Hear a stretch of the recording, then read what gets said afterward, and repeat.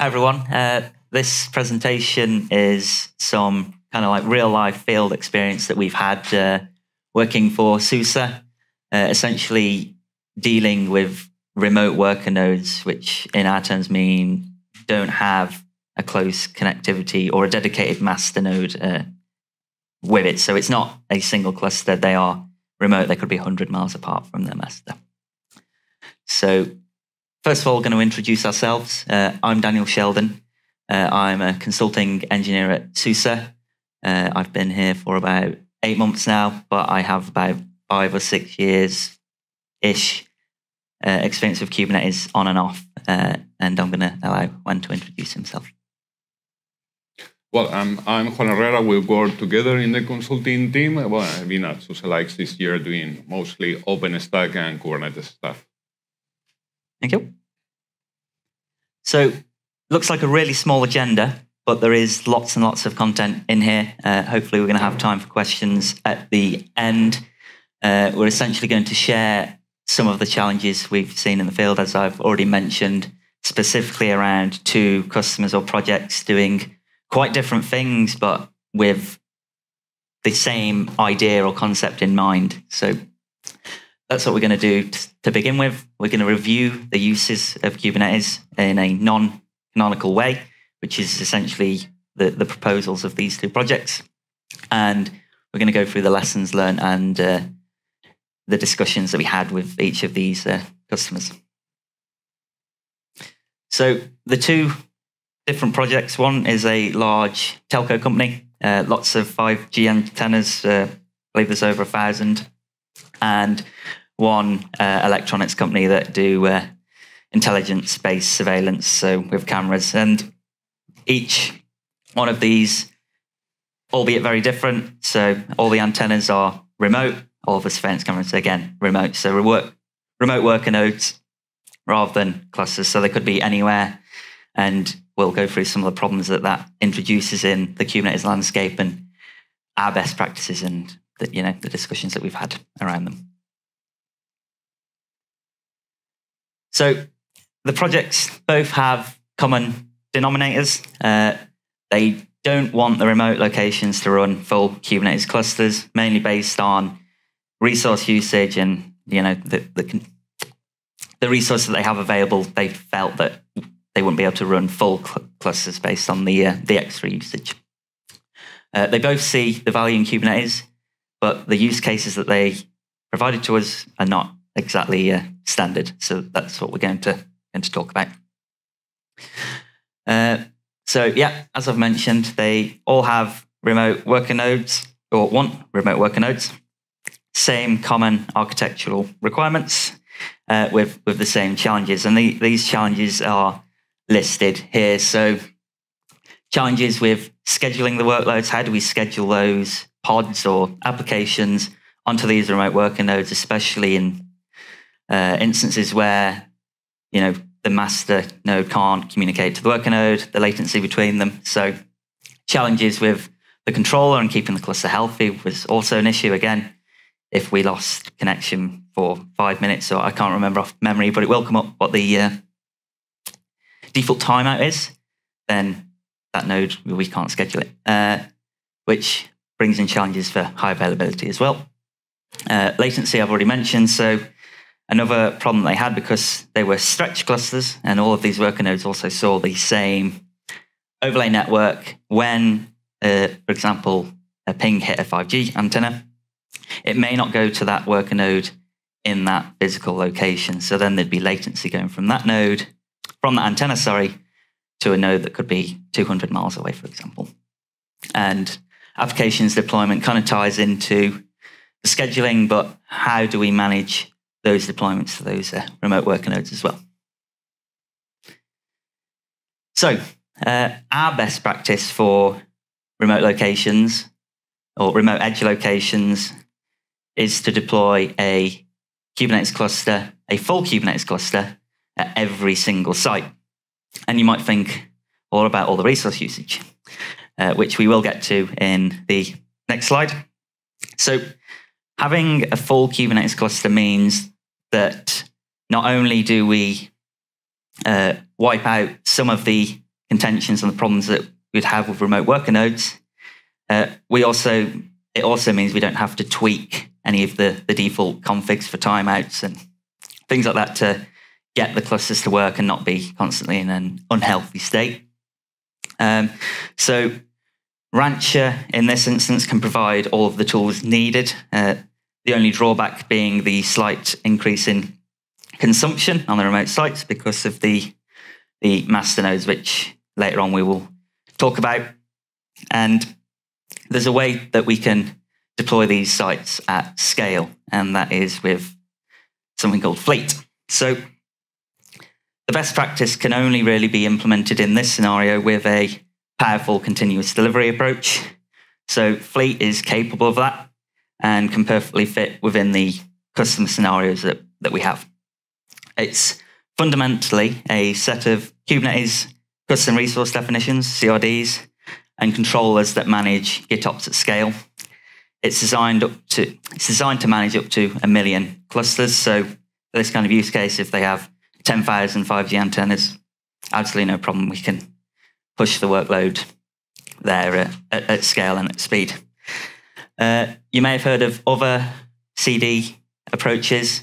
Something that differentiates Fleet is rather than being a push based uh, CD approach, Fleet is a pull based approach. So each worker node will be pulling from the Fleet server in the top end of the cluster, and then Fleet will be pulling from GitHub or GitLab or whichever your uh, whatever tool of choice you're using for storing your YAML or your Helm manifests.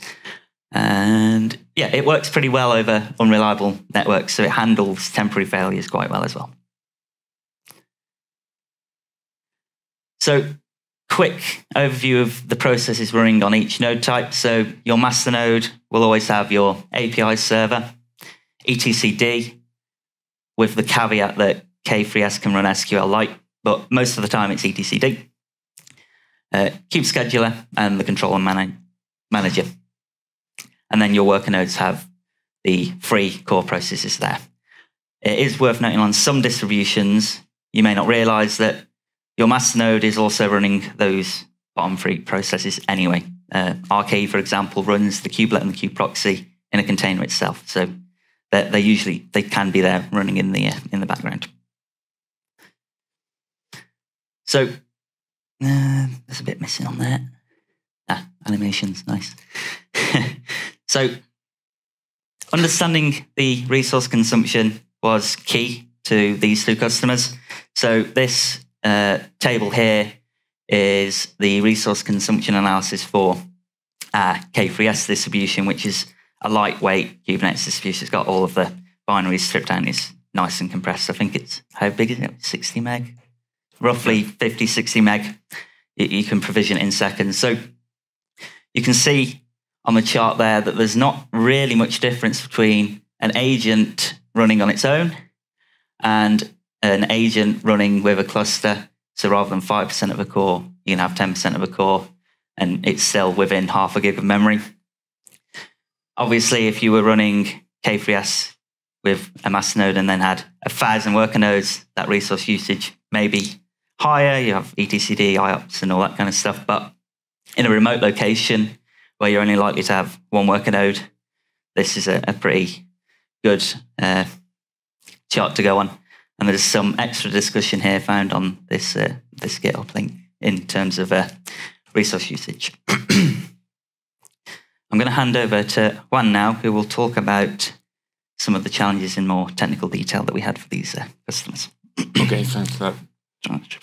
Well, now let's start uh, discussing the uh, the challenges we, we face with uh, this approach that were said for us it was not the best practice, so but we tried to accommodate to what the customer was requesting. But uh, again, Kubernetes is designed to have constant connection to the to the worker node, or at least semi-constant. So it was not uh, performing really well. It, was, it, can be doing strange things if that co uh, connection is not permanent. Okay. So uh, at the end of the day, when we are working in such a scenario, the problem we have is we want to set up something reliable, and, and the use cases that we were describing at the beginning. Obviously, we want our five, the software and the 5G towers to work perfectly. We want the security cameras to work okay. The problem with that is we need to do more testing because we are more influenced and more impacted about the physical uh, layout of the network we are running of. Also, it's something that is really straightforward and everybody understands here because we are working in Kubernetes how we deploy software. But these guys want to really manage, for example, the guys managing 5G, they really want to use uh, the worker node and the antennas as if it were a virtual machine. And they want that mindset, they have mind, that mindset when they deploy. So that means that a software goes to an antenna, okay, and, and another antenna will have a different software, the same one, but the placement should be exactly one to one. That means they have to do deployments that have no selector that target individual antennas. And that's a challenge because you, you may imagine you want to target a software deployment to 1,000 antennas, you have to create 1,000 deployments. That's a mess. Okay. So, and obviously, uh, we have challenges with uh, traffic. Kubernetes runs on top of an overlay network, okay? And if we want antennas to behave as they were an isolated world, okay, we need to be careful that the traffic is local, okay? Because we are in a 5G uh, use case, so if the traffic jumps for any reason, okay, and goes through nodes that are remote, we can add increases latency. Later, we will see that the surveillance camera use case is a little bit uh, easier, but the challenging one is related to uh, 5G antennas. So in terms of software deployments, uh, we will see uh, some of the challenges, but uh, the only perfect way to control that a worker node and a specific worker node have a, the deployment we want is to use static pods. But again, that's an anti-pattern. That's not uh, something that is recommended. So uh, we have other type of deployments. But we mix here two things. One is the availability. Okay, if we want uh, a node that is running uh, on an antenna to be able to survive any kind of situation, the only the only type of deployment that is matching that is the static pod definition because it's the same model that Kubernetes uses for its own process. So an, an static pod is able to start even if there's no connection to the control plane. And that's not the case for the rest of the type of deployment, or there are some difference. So we have the challenges of uh, targeting our deployment to specific places or a specific location and make them resilient, okay? In this situation we're describing, bad network links, uh, partial connection, and that kind of situation. Then, uh, as I said, we have the reboot problem, okay? Up to some point, we can manage when we deploy, uh, we made a deployment and the pod is running in a remote location. It will keep running in most of the scenarios if we configure properly things like uh, taints and tolerations. Okay, we can tolerate uh, things like unready or not ready status on the nodes, so the workload will keep running. Uh, even if there's no permanent connection to the control plane. And now for our 5G uh, towers, that's okay. But what happens if during the disconnection then the antenna is reboot for some reason. Then the processes will not start. Okay, and that's a challenge and probably the, the biggest uh, limitation of this model. And this is still on the work with with the team. So let's go into more details to the scenario we're, we're describing. So from a working point of view, we need to achieve that model, the blue model. Okay, because each antenna, each location is completely independent to the others. Okay, so the uh, traffic should be all north-south on the location, and the only each side, each west traffic that is allowed is the control uh, traffic just to uh, update the status of the nodes and just do the deployment. In terms of the user workloads, we should not avoid in any case that kind of red traffic. Okay, so uh, a mobile device that is connected to an antenna should be always the traffic should be local. If we jump, we are dead in terms of telco. It's completely unacceptable the amount of latency that we may be adding, but that kind of scenario. So, uh, with discussing with the team, uh, we were facing this this this problem, and again, we we to be able to solve this somehow, we don't have a lot of options because from a, a, Kubernetes point of view, okay, the way we expose services, for example, the typical way to expose them, like node port or cluster IPs. When we do that, uh, those type of definition are cluster wide. Okay, that means if each single application running in one of the antennas needs its dedicated node port, we may end up with hundreds of thousands of node port definition that even if we manage to make the traffic local, the definition itself, the custom resource will exist in the central location. So our etcd database will become huge over time. So, and that's, that's a big problem. So one solution to overcome that was going back to host port. Host port, again, is an anti-pattern. Nobody's using nowadays host port except for some specific workloads. For example, sometimes the ingress controllers are using host port, uh, but it's not uh, recommended or, or it's not used. But when we started to discussing this, it was the only possibility because that way you decide that a, a pod that is running on a node is consuming a specific port and that go to in the deployment definition. You need, don't need to create services, ingress, or any other way, or any other uh, definition to export the service. Okay, so that's what it's covered there. So we started to discuss with them this basic approach. At the end of the day, within uh, allocation, our application will be uh, using uh, host port and the local load balancer on each location will cover, take care of the traffic, and that will make the, the traffic to uh, become local. This uh, may work, but has a problem is that uh, even in this model, we are using the Kubernetes overlay network. So for telco use cases, add some latency. We also discussed some other uh, alternatives are a little bit complex, trying to keep the deployment definition simple, okay, and not having to hard code the host port. We try to offload that to a local ingress, but again, we need to rely on cluster IP services that will be visible across the cluster, and it will really create a lot of burden later on in terms of maintenance. Solution, as happens in many uh, telco use cases, okay, go back again manage our Kubernetes workloads as if they were virtual machines. So these guys have the antennas connected to a local VLAN, a physical network. Let's use Multus plus IOB connected to the local LAN. End of the problem. Like again, an anti-pattern, okay? So as you can see, uh, the customer is really interested on using Kubernetes for this, and we get some value, but uh, we are really using all the possible anti-patterns that we may think of when we do deployments. Okay, and that's just uh, in terms of, uh, let's say, networking. Okay, so in terms of configurations, uh, obviously we need to tweak things a little bit. We have cluster-wide configuration, node-wide configuration, and also the configuration we do the workloads. These are the most relevant cluster-wide configurations for that type of scenario. Okay, the first one in our case, as we we we have kubelet also master and workers, is the uh, the status update frequency, how often the, the, node is going to tell the control plane that it's alive, and the other two are related again to timeouts and uh, and checks that are done by the kube API. kube API is the one listening for the nodes to make call to the API, and the kube controller basically is our controller that is checking and uh, managing the desired state, state within the cluster.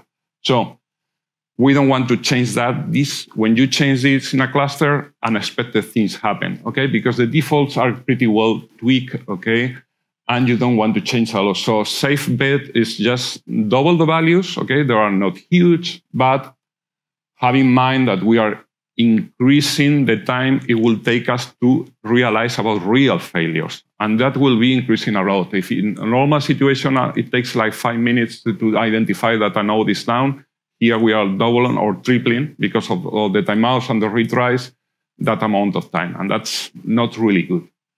What we found, okay, that during the test was worked better, okay, is even go back to the standard values or increase them as much as double, okay. They try tend to think that uh, we should increase them those values, but they say no, wait.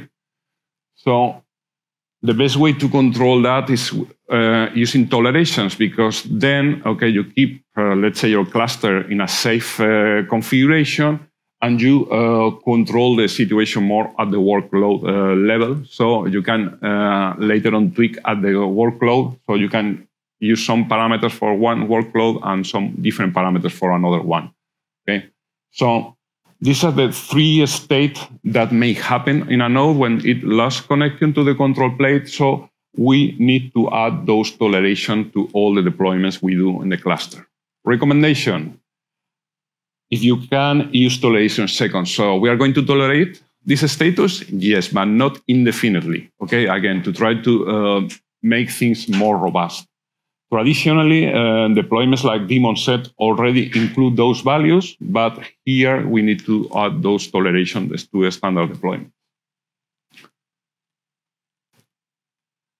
Okay, and in terms of application, it's uh, what we describing. Okay, we are using Kubernetes. We create a deployment. We say replica 3, sorry, replica 3. Okay, that's not going to work here because our antennas, our worker nodes, were, are all different. Okay, so each time we do deployment, we should target individual antennas. So we are forced to label all the worker nodes in the antennas with unique IDs and do a single deployment for each antenna. 1,000 antenna, 1,000 deployment. That's scalable, usable? No.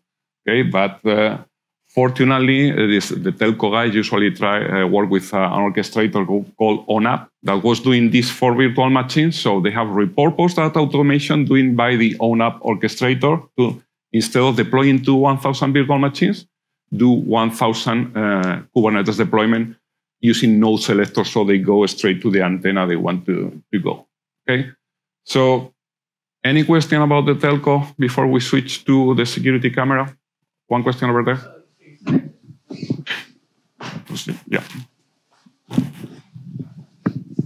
So given that you don't use services, but in the one of the earlier slides you showed using kubeproxy in every node, why do you have kubeproxy if you don't need services? No, uh, in that slide we were talking about in general and consumption because we told the customer, why don't you run full clusters? Because we want to optimize resources. And we said, you are not wasting those much that much resources. When you're working with K3S, it's not that much and you get a lot of benefits because everything is cleaner. Okay, and we are offering you a solution that is called Fleet that is able to do the CD, the continuous delivery to thousands from node. Why go into this model and make it overly complicated? And it's, as I say, it's a virtual machine mindset. Okay. Uh, then we have the surveillance camera uh, use case, and this is also quite typical nowadays on this deployment. It's quite similar. What we have here, I need to go fast, basically is each camera is a worker node, okay? And here it's true that they use ARM, ARM64 compatible hardware, and the resources are really limited here. And there is, in this model, they also want to apply artificial intelligence. So what they are doing here are smart cameras. Those smart cameras are going to be capturing information, but also will receive the, the result from uh, AI training models. So they will apply things like mass face detection that we were seeing in your session and that kind of stuff. So they need to be smart devices. But, uh, and they have been starting using place location relatively small, like building stadiums right now, but they want to extend this to public transportation. When we are in the same building or we are in a stadium, we are in a local network. Okay, so we expect the latency to be low. Even some of the cameras are using Wi-Fi and having in mind that the same connection that is used for all the control signaling is also used to the image itself but that really behaves more or less like a real cluster. So in this case, it's not that strange to follow this model, okay? But again, uh, there are some challenges that are shared in both scenarios, especially when we move and scale the environment. In this example, we recommend that the customer keep the default values, okay? Don't change anything. And the most important deployment that will be the software that will live in the cameras will be deployed as a daemon set. So again, they are the same toleration, but these ones will be already bundled uh, within the daemon set deployment. So nothing really fancy. So in this case, uh, it was not that hard to be uh, to achieve the, the result they wanted. In terms of application deployment, Okay, what will go to the cameras will be a daemon set, a node selector, okay, for type camera. Then we have they will have the local uh, artificial intelligence manager that will be at the facility, that will be also targeted by a node selector, the rancher management itself, and then we have the nodes that will be doing the training to, for the uh, artificial intelligence model, okay, and that those will be targets. So here the deployments are more like a typical deployment as the type of nodes we have is not that big. Okay, and that's basically all. More questions?